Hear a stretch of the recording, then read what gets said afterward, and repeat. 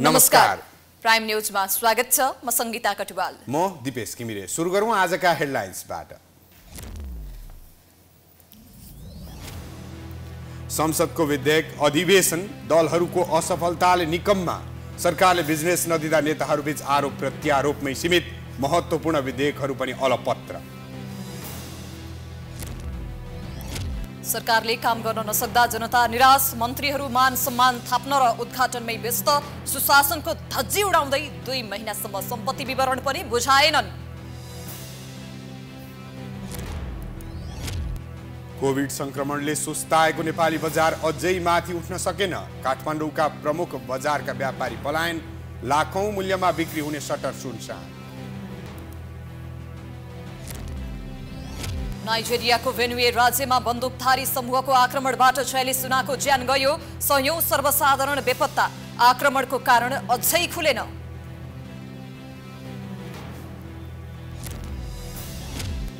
र Paris Olympic Asia छनौटको दोस्रो खेलमा आज नेपाल र भियतनाम बीच प्रतिस्पर्धा हुँदै बलियो टोली भियतनाम विरुद्ध जित निकाल्न नेपाललाई चुनौतीपूर्ण।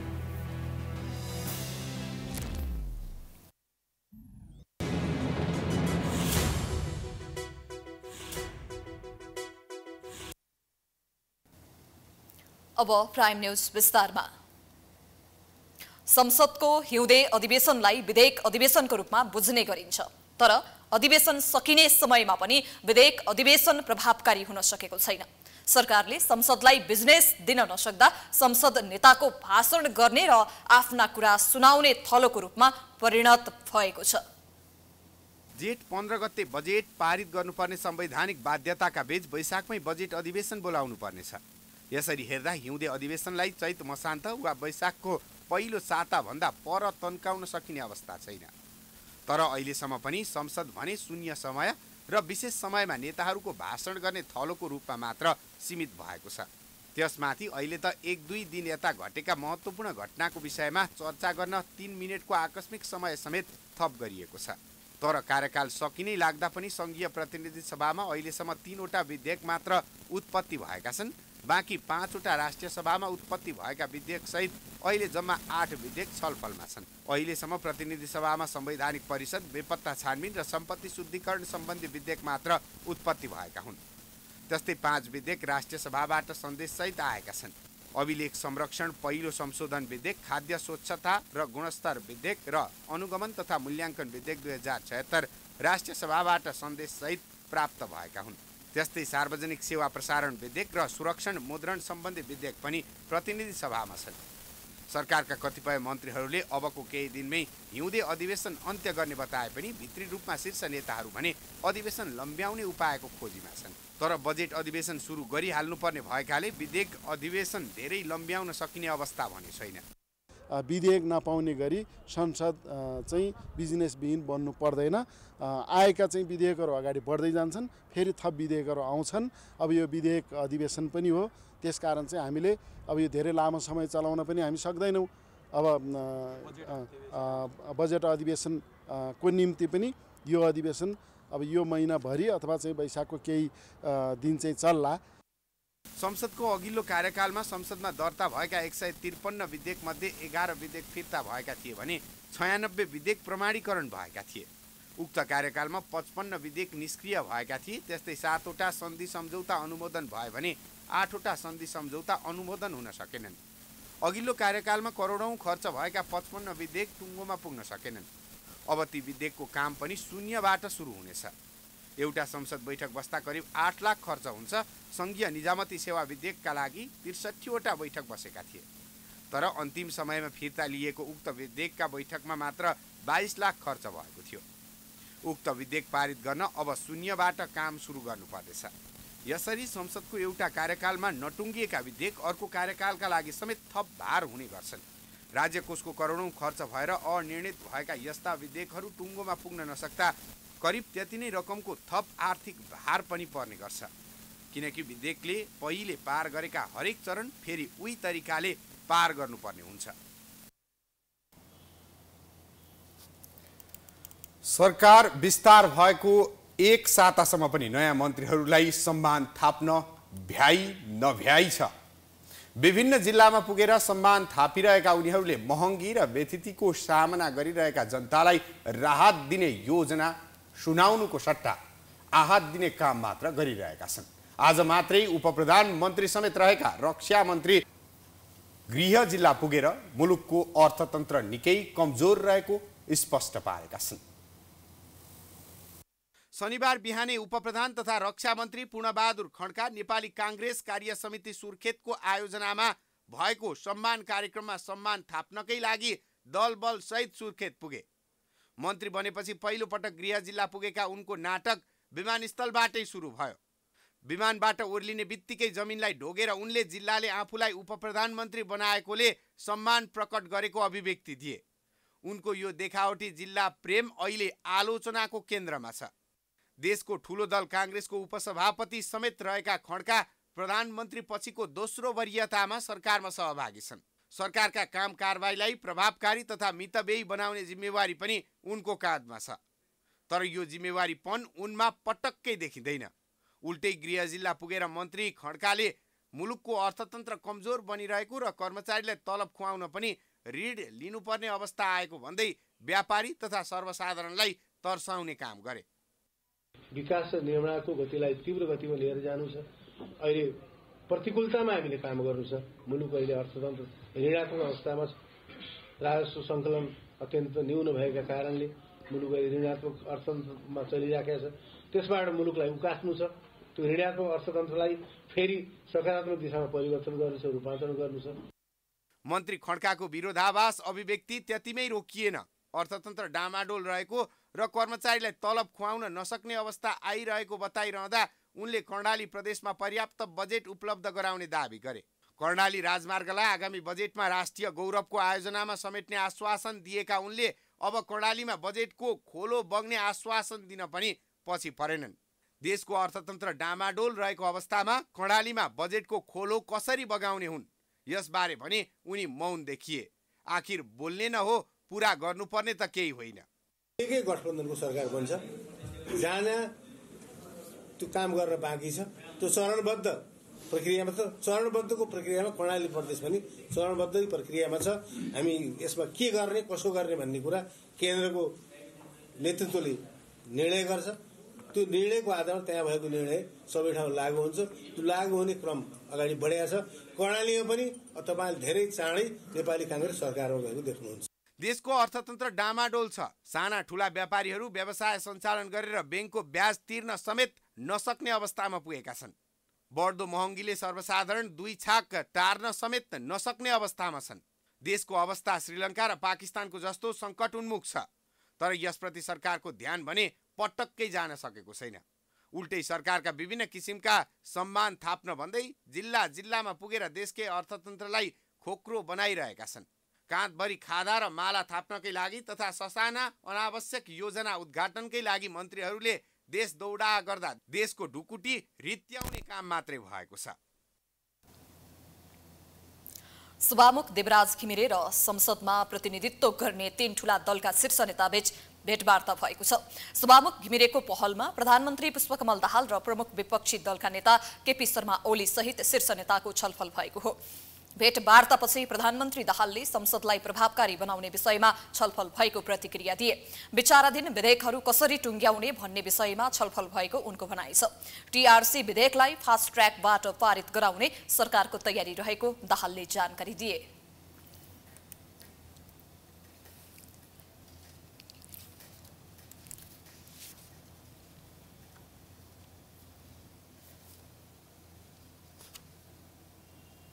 संवाद गरेर सदनभित्रको खास गरी यो टिआरसीसँग सम्बन्धित विधेयक र संवैधानिक परिषदसँग सम्बन्धित विधेयक सम्पत्ति शुद्धिकरण सम्बन्धी विधेयकलाई छिटो हामीले यसलाई टुङ्ग्याउन जरुरी छ यो राष्ट्रको निम्ति भन्ने कुरामा गम्भीर छलफल भयो।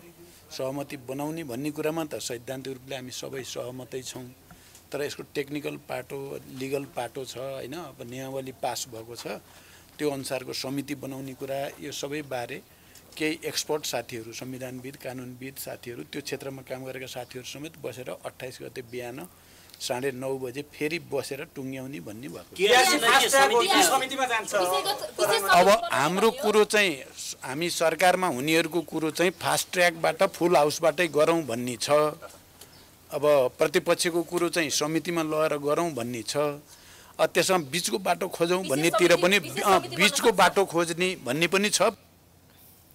तर एमाले अध्यक्ष ओलीले भने टीआरसी विधेयकलाई फास्ट ट्र्याकबाट पारित गराउन नहुने प्रतिक्रिया दिएका छन्। त्यसै गरी सदनका काम कारवाहीहरूको सम्बन्धमा सदनलाई कसरी प्रभावकारी ढङ्गले गतिशील ढङ्गले अगाडि बढाउने र अहिले आइरहेका समस्याहरूलाई कसरी समाधान गर्ने भन्ने सन्दर्भमा छलफल भयो। अ, यो प्रारम्भिक छलफल हो। छलफल अब सकारात्मक छ। अ, फास्ट ट्र्याक चाहिँ अलिक कति गर्न मिल्छ कति गर्न मिल्दैन हामी छलफल गर्दैछौँ। फेरि अर्को दिन बसेर समितिमा जाने भयो अब टिआरसी? समितिमा कुनै न कुनै हिसाबले त जानै पर्ला। त्यसै गरी सभामुख घिमिरेले समसामयिक विषयमा छलफल गरेको जानकारी दिए। दलहरूबीच विभिन्न विषयमा विमति रहेका बेला एकजुट बनाउने प्रयास गरेको उनले बताए।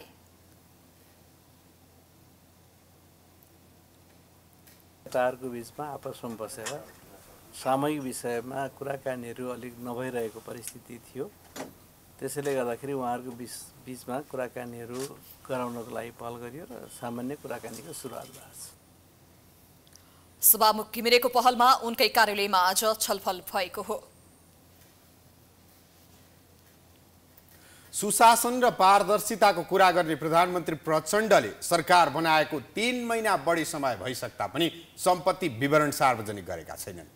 प्रधानमन्त्री तथा मन्त्रीहरूले पद धारण गरेको दुई महिनाभित्र सम्पत्ति विवरण सार्वजनिक गर्नुपर्ने कानुनी व्यवस्था छ।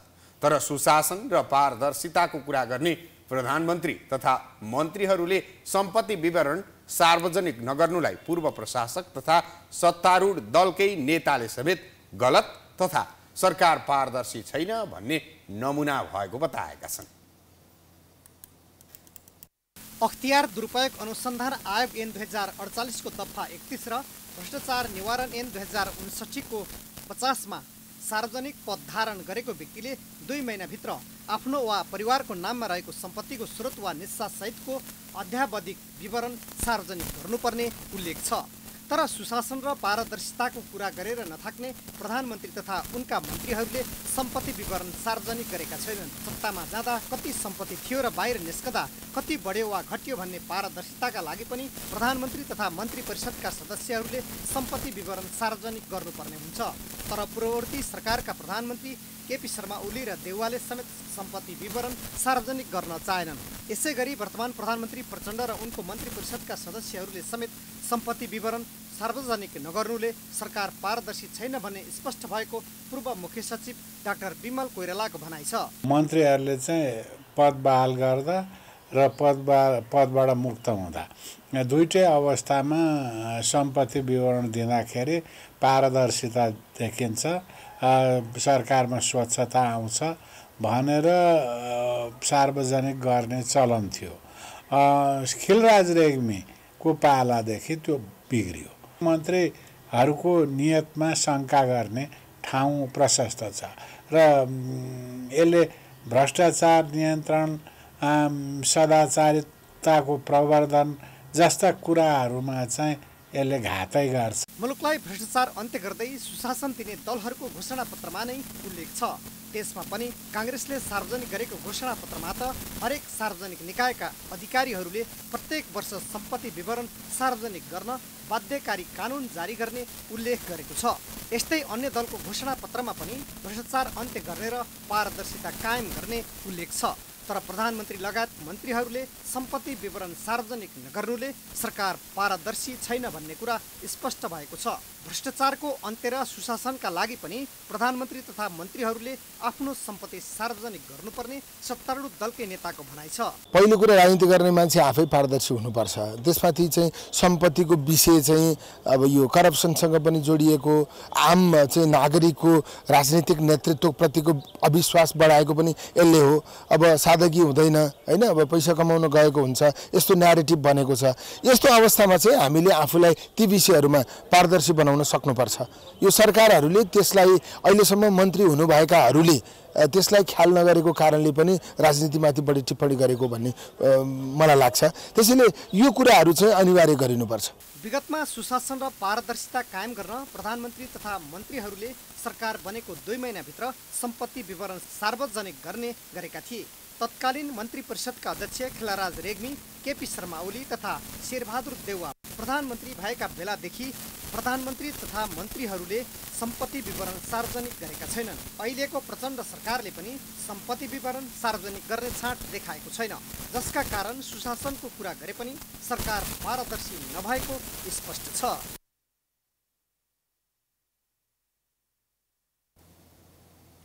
नयाँ सरकार बनेको साढे तीन महिना पुरा हुँदा पनि उल्लेखनीय काम भएको भने देखिएको छैन। आज हामीले सर्वसाधारणसँग नयाँ सरकारको काम कारवाहीप्रति प्रश्न गरेका छौँ। हेरौँ के भन्छन् उनीहरू? आजको आम विचारमा।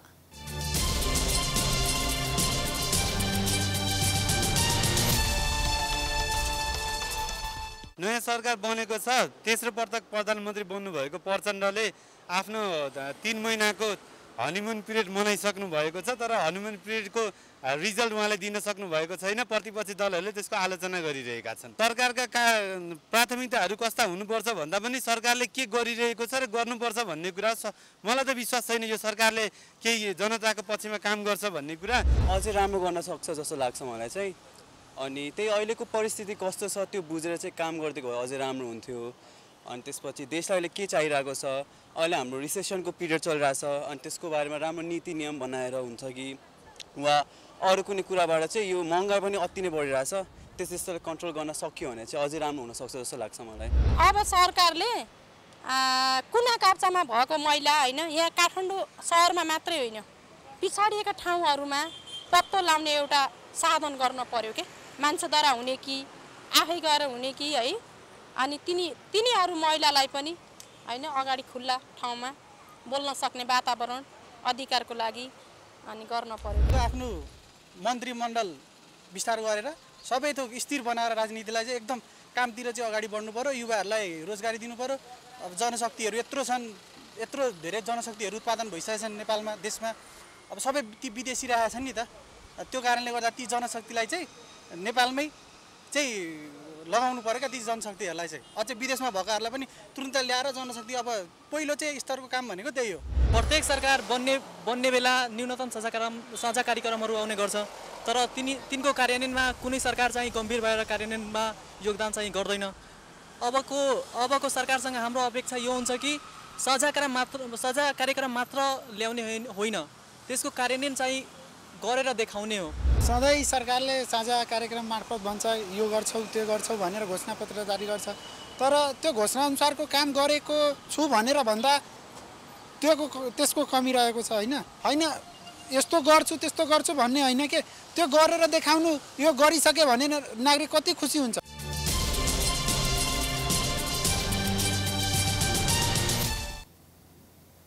प्राइम न्युज जारी छ हामी ब्रेकपछि आउँछौँ।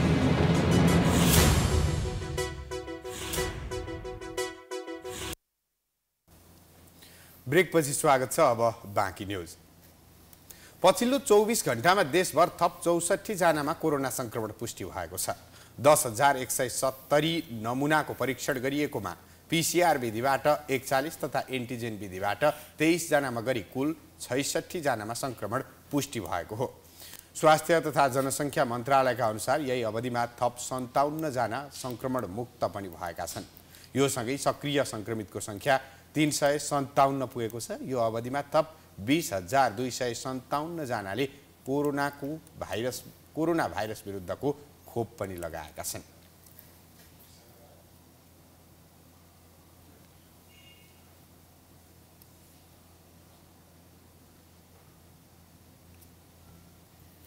नेकपा एकीकृत समाजवादीका वरिष्ठ नेता मुकुन्द नेउपानेले साधारण सदस्य समेत नरहने गरी पार्टी परित्याग गरेका छन्।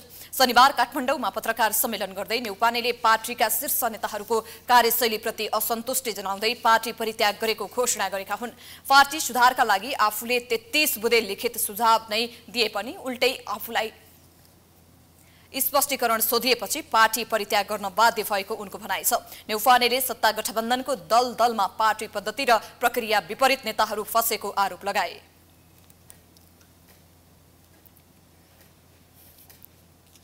विचार र दर्शनको विचार र दर्शनको धारलाई भुत्ते पारेर परिवर्तनको द्वन्दात्मक भौतिकवादी दर्शनको धारबाट अलग थलग भई वस्तुगत परिस्थितिको ठोस विश्लेषण नै नगरी मार्क्सवादका दुई चार शब्दहरू अगाडि सारेर अवस्तुवादी आत्मगत चिन्तनमा आधारित शास्त्रीय आख्यान पिनाउँदै हिँड्नु भनेको आफूलाई पिन नभएको बाल्टीमा परिणत गर्नु हो। स्थानीय निर्वाचनदेखि प्रतिनिधि सभा निर्वाचनसम्म आउँदा नेकपा एकीकृत समाजवादीले परिचय दिए पनि पहिचान दिन नसकेको र सबै आफ्नो स्वार्थमा निहित भएको उनको भनाइ छ। नेउपानेले भविष्य नभएको पार्टीको सदस्य हुनुभन्दा सम्मानित नागरिक हुनुका लागि पार्टी परित्याग गरेको पनि स्पष्ट पारेका छन्।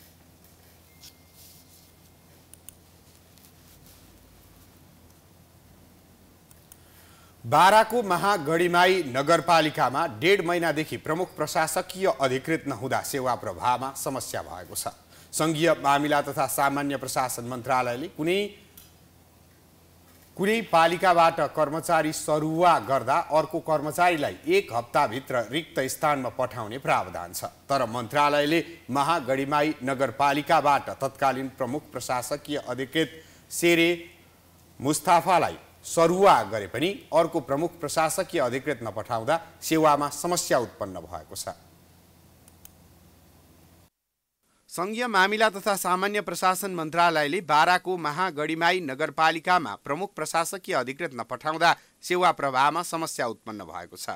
महागढीमाई नगरपालिकामा प्रमुख प्रशासकीय अधिकृत नहुँदा विभिन्न बिलको भुक्तानीका साथै अन्य सेवामा समस्या भएको छ। प्रशासकीय अधिकृत उपस्थित नभएको कारणले सेवाग्राहीहरूलाई कामको मर्का परिरहेछ दिनहुँ काम कार्य गरी खाने मान्छेहरूको धौ धौ परिरहेछ काम भइरहेको छैन जनताहरू पिरमर्कामा छन्। प्रमुख प्रशासकीय अधिकृत नभएकै कारण नगरपालिकाले आयल निगमबाट लिँदै आएको तेलको भुक्तानी नगर्दा निशुल्क चल्दै आएका एम्बुलेन्स सेवा र बारुण यन्त्रलाई तेल दिन रोक लगाइएपछि आपतकालीन अवस्थाका सेवा ठप्प भएका छन्। चालकहरूले पालिकामा एम्बुलेन्स र बारुण यन्त्रको सेवा दिन बंद गरेका छन्। गाड़ी में तेल नहीं तेल मिले नहीं क्या? कूपन कटा तो वहाँ से टंकी वाला रिटर्न कर देता ऊपर पैसा नहीं खे मिलल वो का चलते हम खैर हमनी के तलब तो अभी बात के बात बा अभी समस्या कोनो के हो जाए अगर आफत कल हो जाए कि ठोकर लग जाए तो हमनी के जा ना पाए? संघीय मामला तथा प्रशासन मन्त्रालयबाट प्रमुख प्रशासकीय अधिकृत जीव को यहाँ सरुवा भइसकेछ तर समय यहाँ नआउनु भएको कारणले हामी एकदम धेरै समस्यामा छौँ। तिन महिनादेखि हामी कुनै कर्मचारी यहाँको तलब अहिलेसम्म खाएको छैन। त्यो कारणले एकदम कतिजना यति पीडित छ कि अब के भनौँ म भित्रबाट सबैलाई समस्या नै समस्या छ। हामी धेरै समस्यामा छौँ। नगरपालिकामा प्रमुख प्रशासकीय अधिकृत विहीन बनेपछि योजनाको काममा समेत प्रभाव परेको छ। यस आर्थिक वर्षमा भौतिक पूर्वाधार शिक्षा र सामाजिक सुरक्षा क्षेत्र लगायतका बजेटहरू फ्रिज हुने अवस्थामा पुगेका छन्। त्यस्तै विकास निर्माणका लागि सम्झौता र ठेकेदारले काम गरेको भुक्तानी समेत हुन सकेको छैन। पालिकाका कर्मचारीले काम गरेको तलब समेत नपाएको गुनासो गरेका छन्। यहाँ प्रमुख प्रशासकीय अधिकृत नभएर हामीहरूलाई चाहिँ धेरै गाह्रो भएको छ। किनभने कि हामीहरू तिन चार महिनादेखि चाहिँ तलब नखाएर पाएको छु। अनि बिचमा सुनेको थियो कि हाम्रो पालिकामा चाहिँ प्रमुख प्रशासकीय अधिकृत चाहिँ मन्त्रालयबाट सरुवा भइसकेको छ भनेर। अनि उहाँ यहाँ चाहिँ के अरे हाजिर हुनुभएको छैन अहिलेसम्म। यहाँ सबै काम चाहिँ अस्तव्यस्त भएको छ। यो नगरपालिकाबाट हुने जति पनि विकास निर्माणको कार्यहरू छ सब यथास्थितिमा रोकेर राखिएको छ। किनभने समेतै भएको छैन। यो दुर्द यो अवस्थाले हेर्दाखेरि हामीलाई के लागिरहेछ भने कि हाम्रो यसपालिको budget eighty percent above budget freeze भएर जानेछ कि। खर्चै गर्न पाउने छैन भने। कार्यादेशमा दिने मान्छे छैन। के गर्ने? हाम्रो प्रमुख प्रशासकीय अधिकारीसँग मात्र अधिकार छ त्यो कार्यादेश दिने। यहाँको नियमित प्रशासकीय प्रशासकीय कामहरू पनि प्रभावित भइरहेछ। हामीले अहिलेसम्म चार महिनाको लगभग तिन महिनाको तलबै खाएको छैन। यता नगरपालिकाका प्रमुखले तत्कालीन प्रमुख प्रशासकीय अधिकृतको सरुवा भएपछि सङ्घीय मामिला तथा प्रशासन मन्त्री अमललाल मोदी र सचिवसँग अधिकृत पठाउन आग्रह गरे पनि कार्यान्वयन नभएको बताएका छन्। सामान्य प्रशासन मन्त्रालयले अहिलेसम्म कुनै किसिमको चासो नहेराएको। पटक पटकमा जाँदाखेरि त्यहाँका हाम्रा चाहिँ सामान्य प्रशासन मन्त्रीज्यूसँग भेट गर्दाखेरि हुँदैछ हुँदैछ पठाउँदैछु पठाउँदैछु भनेर आश्वासन मात्र दिने गर्ने र सचिव पनि आश्वासन मात्र दिने गर्ने र उहाँ चाहिँ अहिलेसम्म यो महागढीमाई नगरपालिका बारा जिल्लाको एउटा चाहिँ धार्मिक ठाउँ गढीमाई माता जगतजननी माताको नगरपालिका र यसमा पनि हाम्रो होलीमा पनि चाहिँ कसैले पनि यो चाहिँ हाम्रो होलीको पर्वमा पनि हाम्रो चाहिँ कर्मचारीले तलब पनि खाएन जनप्रतिनिधिको पनि केही यहाँ चाहिँ सुविधा पाएन। यहाँ जनताको सबै मारामार छ जनताको कुनै काम चाहिँ धेरै अवरोध भइरहेको छ धेरै कठिनाइ भइरहेको छ। तैपनि अ, सामान्य प्रशासन मन्त्रालयले कुनै किसिमको चासो नआइरहेको कर्मचारी व्यवस्थापनमा मन्त्रालयको गैर जिम्मेवारीपनका कारण महागढीमाई नगरपालिका अहिलेसम्म प्रमुख प्रशासकीय अधिकृत विहीन बनेको छ। जनताको काम गर्ने जिम्मेवारी लिई जनप्रतिनिधि बनेका दलका नेताहरूको लापरवाही र आफ्नो स्वार्थका कारण सेवा प्रवाहमा देखिएको समस्या कसले समाधान गर्ने? प्राइम एचडीका लागि बाह्रबाट श्रीकान्त गुप्ताको रिपोर्ट। रूपन्देहीको भैरवा स्थित अन्तर्राष्ट्रिय विमानस्थल पूर्ण रूपमा सञ्चालन गर्न स्थानीय तथा व्यवसायीले माग गरेका छन्। विमानस्थल सञ्चालनमा आएको एक वर्ष पुग्न लाग्दा पनि पूर्ण क्षमतामा सञ्चालनमा आउन सकेको छैन। विमानस्थललाई लक्षित गरी विभिन्न व्यवसाय तथा होटेलहरू सञ्चालन भएका छन्। तर सरकारले विमानस्थल पूर्ण क्षमतामा सञ्चालन गर्न नसकेको भन्दै विभिन्न सङ्घ संस्थाले विमानस्थल अगाडि विरोध गरेका छन्। गौतम बुद्ध अन्तर्राष्ट्रिय विमानस्थल पूर्ण रूपमा सञ्चालन गर्न विभिन्न सङ्घ संस्थाले माग गरेका छन्। विमानस्थलबाट कुवेतको जजिरा एयरलाइन्सले अहिले मङ्गलबार बिहिबार र शनिबार गरी सातामा तीन दिन उडान भर्दै आएको छ। तर त्यही उडान पनि कहिले सञ्चालन त कहिले बन्द हुने गरेको छ। विमानस्थलमा नियमित उडान छैन। रूपन्देही र आसपासका व्यवसायीले नियमित उडान मात्रै होइन विमानस्थललाई पूर्ण क्षमतामा सञ्चालन गर्न माग गर्दै आएका छन्। मन्त्रीदेखि प्रधानमन्त्रीसम्मलाई भेट्ने ज्ञापन पत्र बुझाउने गर्दा पनि माग सुनुवाई नभएपछि निजी क्षेत्र र सङ्घ संस्थाले दबाव स्वरूप धरना दिएका छन्। विमानस्थल पूर्ण रूपमा सञ्चालन नआएको भन्दै उनीहरूले आन्दोलन स्वरूप विमानस्थलको प्रवेशद्वार अगाडि धरना दिएका छन्। धरनामा लुम्बिनी प्रदेशसभा सदस्य तथा पूर्व मन्त्री सन्तोष कुमार पाण्डे र सिद्धार्थनगर नगरपालिकाका मेयर इस्तियाक अहमद खान समेत सहभागी भएका छन्। व्यवसायी तथा स्थानीय जनप्रतिनिधिले विमानस्थल पूर्ण क्षमतामा सञ्चालन नभए आन्दोलन जारी राख्ने चेतावनी समेत दिएका छन्। हामी मजबुर भएर खरबौँ रुपियाँ लगानी डुबिरहेको छ त्यो अवस्थाको कारणले मजबुरन हामीहरू आज यो शान्त जुलुसमा आएका छौँ प्रदर्शनमा आएका छौँ। यो शान्ति प्रदर्शन हो। यो सरकारलाई ध्यान आकृष्ट गराउनको लागि आएछु। सरकारले खर्बो खर्बोको लगानी लगाएर जनताको किसानको जग्गा सस्तोमा लिएर किसानलाई के थियो कि हाम्रो जग्गा निस्किरहेछ त्यहाँ हाम्रो बालबच्चा पढे लेखेको जुन छन् हाम्रो छोरीछोरी छोराछोरी केही न केही यसमा आफ्नो जीवनयापनको लागि नोकरी पाउँछन् र उद्योगी व्यापारीहरूले ठुला ठुला होटल बनाइराखेछन् ब्याङ्कबाट ऋण लिएर होटल थुप्रै सञ्चालनमा आइसकेछ तर यो इन्टरनेसनल एयरपोर्ट सञ्चालन भइराखेको छैन। विमानस्थललाई लक्षित गरी व्यवसायीले करोडौँ लगानी गरेर व्यवसाय सञ्चालन गरेका छन् तर विमानस्थल पूर्ण क्षमतामा सञ्चालन नहुँदा व्यवसायी मारमा परेका छन्। एकातर्फ कोरोना महामारीको प्रभाव र बैङ्कको चर्को ब्याजको मारमा परेका व्यवसायी विमानस्थल नियमित र पूर्ण क्षमतामा सञ्चालन नहुँदा लगानी डुब्ने जोखिम बढेको भन्दै चिन्तित भएका छन्। विमानस्थल निर्माण सम्पन्न भए पनि यो सञ्चालन हुन सकेको छैन। खालि यहाँदेखि जजिरा एयरले महिनामा हप्तामा तिनचोटि मात्र जजिरा एयरले उडान भर्दै आइरहेको छ। त्यो पनि बन्द हुने अवस्थामा छ। यत्रो यस क्षेत्रको निज निज क्षेत्र र राज्यको ठुलो लगानी अरबौँ अरबौँको लगानी यस क्षेत्रमा भएको छ। यहाँका स्थानीय बासिन्दाहरूले आफ्नो घरबार छोडेर आफ्नो घरबार त्यागेर उहाँहरूलाई लिएर अन्यत्र बसोबास गर्दै आएका छन्। यता विमानस्थलका महाप्रबन्धक हंसराज पाण्डेले जजिरा बाहेक अन्य एयरलाइन्सलाई पनि उडान भर्नका लागि पहल गर्दै आएको बताएका छन्। एयर रुट र एयर गन्तव्यमा चाहिँ यो विमानस्थलले पहिलोपटक आफ्नो पाइला राखेको हुनाले यसको पहिचान कायम हुनलाई केही समय अवश्य पनि लाग्छ। त्यसमा दुई छैन। अब यो पहिचानलाई ल्याइदिने पर्ने यहाँ यहाँबाट धेरैभन्दा धेरै उडान अवतरण गरिदिएर त्यो पहिचान काम गरिदिने कसले गरिदिने त? धेरैभन्दा धेरै उडान भएपछि धेरैभन्दा धेरै यात्रुहरू आवागमन भएको देखिन्छ। त्यो भएपछि धेरै यहाँ चाहिँ गतिविधि है उडान गतिविधि धेरै छ भन्ने कुरा बुझिन्छ। त्यसपछि मात्रै विदेशी वायुसेवा कम्पनी लगायत अन्य कम्पनीहरू आकर्षित हुने अवस्था रहन्छ। विमानस्थल निर्माण सम्पन्नपछि गत वर्ष जेठ दुई गते उद्घाटन भई सञ्चालनमा आएको हो। उद्घाटनको समयमा विमानस्थल पूर्ण क्षमतामा चल्ने भनिए पनि अहिलेसम्म जजिरा बाहेक नयाँ विमान कम्पनीले उडान भर्न सकेका छैनन्। लुम्बिनीलाई केन्द्रमा राखेर बनाइएको विमानस्थल पूर्ण क्षमतामा सञ्चालनमा आउँदा दैनिक दस हजार पर्यटक भैरवा ओर्लिने विश्वास थियो तर उक्त विश्वास अहिले निराशामा बदलिएको छ। प्राइम एसडीका लागि रूपन्देहीबाट रविन्द्र गुप्ताको रिपोर्ट। सरकारका गतिविधि तथा कार्यशैलीप्रति रुष्ट बनेका काठमाडौँ महानगरपालिकाका मेयर बालेन्द्र शाह बालेनले सिंहदरबारको फोहोर नउठाउने बताएका छन्। भारत र चिनको इसारामा नेपालको सरकार चल्ने गरेको पनि मेयर शाहको गम्भीर प्रश्न पनि छ। तर राजनीतिक दलका नेताले भने उनको भनाइको खण्डन गरेका छन्। काठमाडौँ महानगरपालिकाका मेयर बालेन्द्र शाहले शनिबार बिहानै सिंहदरबारको फोहोर नउठाउने घोषणा गरेपछि तरङ्ग पैदा भएको छ।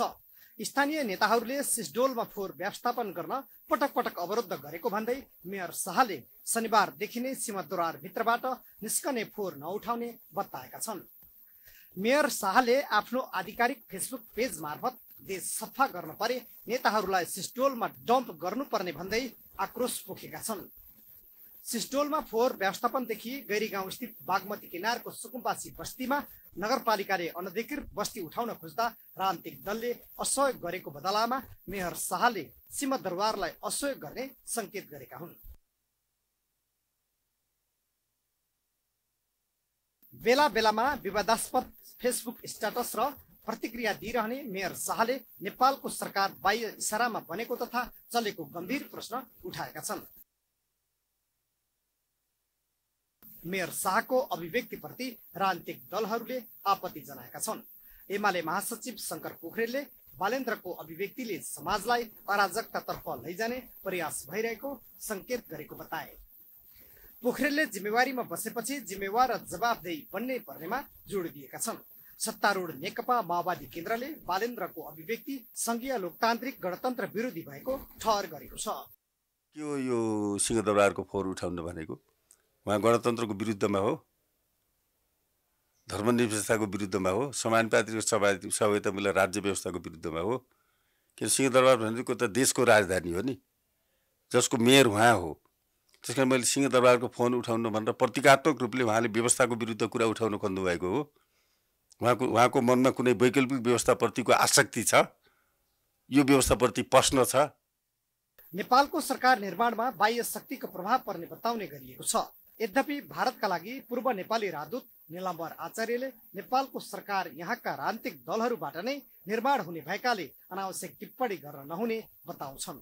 बाहिरको इच्छा होला बाहिरको हस्तक्षेप हुने गर्छ हामी सुतेका छौँ सक्रियता पनि हुने गर्छ हामीले चाहिँ यसो अनुभव गरेका छौँ। तर मुख्य कुरा त हामीहरूको निर्णय हो नि त्यसैले हामीले आफैलाई हेर्नुपर्छ र आफैले चाहिने के उचित छ के अनुचित छ त्यो गर्नुपर्छ।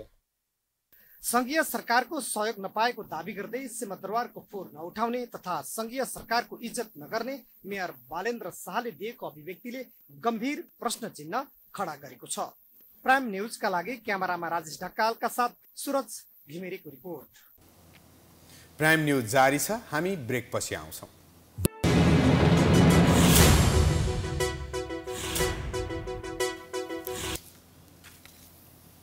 ब्रेकपछि पुनः स्वागत छ। अब बिजनेस न्युज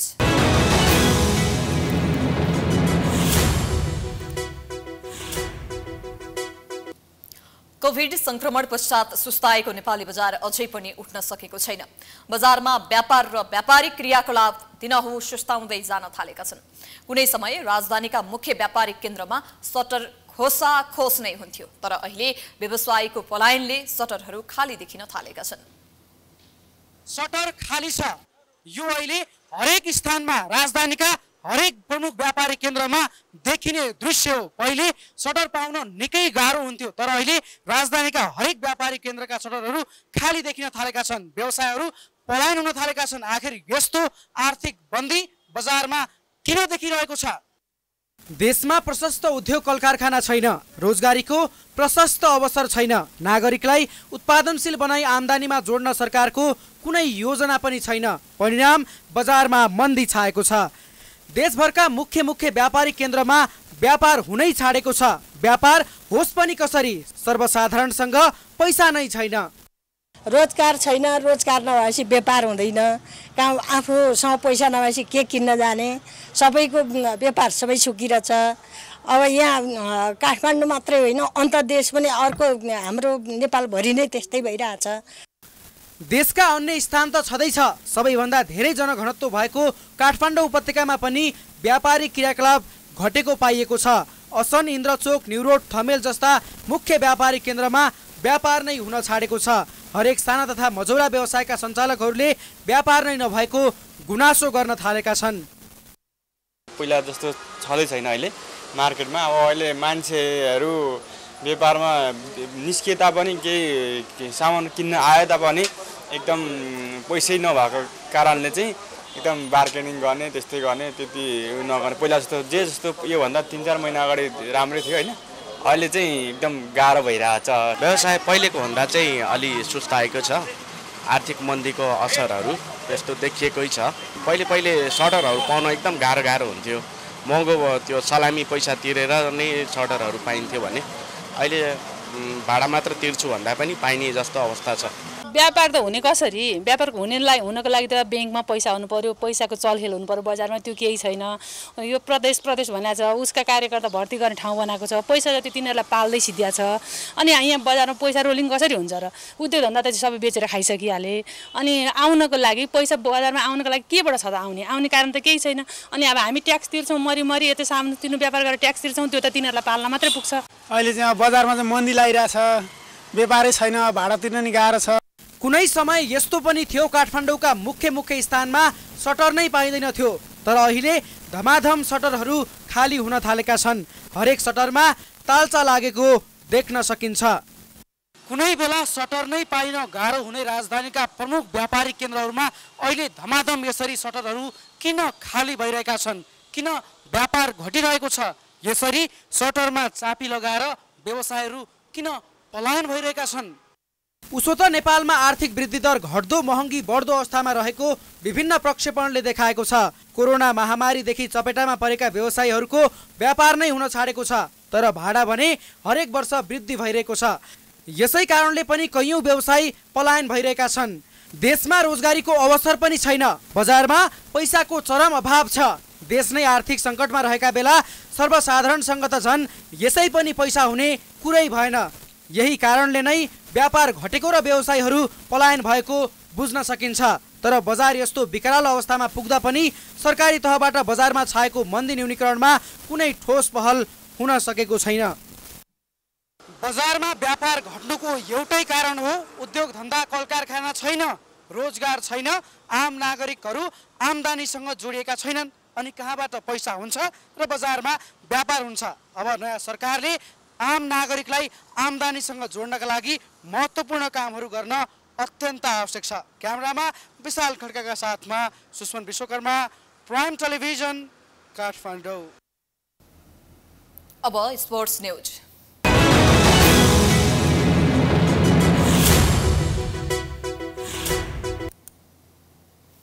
पेरिस ओलम्पिक महिला फुटबल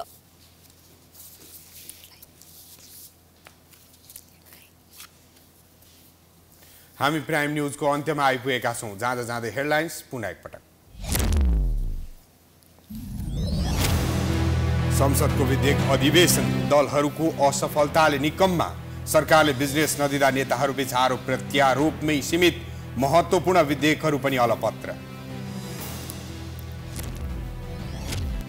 सरकारले काम गर्न नसक्दा जनता निराश। मन्त्रीहरू मान सम्मान थाप्न र उद्घाटनमै व्यस्त।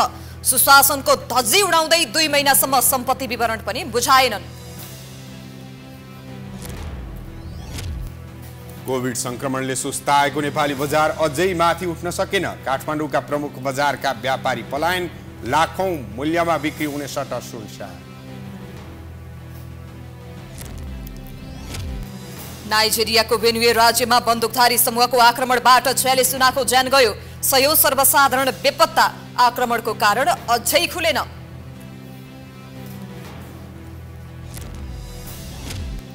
र पेरिस ओलम्पिक एसिया छनौटको दोस्रो खेलमा आज नेपाल र भियतनाम बीच प्रतिस्पर्धा हुँदै बलियो टोली भियतनाम विरुद्ध जित निकाल्न नेपाललाई चुनौतीपूर्ण।